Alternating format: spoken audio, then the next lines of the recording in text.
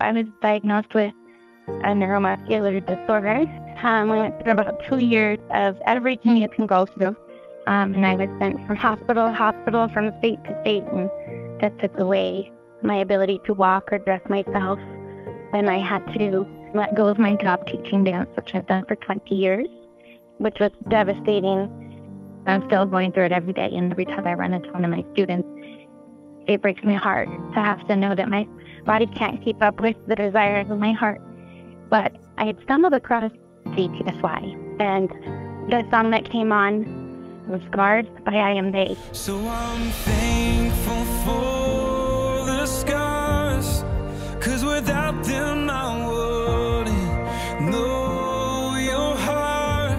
And it's the only thing that can really just pour into who I am is that no matter what, the loss of my body, the loss of my title and who I thought or think I should be was all gone. But I know that there is beauty in my scars, and I know that I am beautifully alone with God in this life, and that all of the other relationships are just blessings on top of blessings on top of blessings.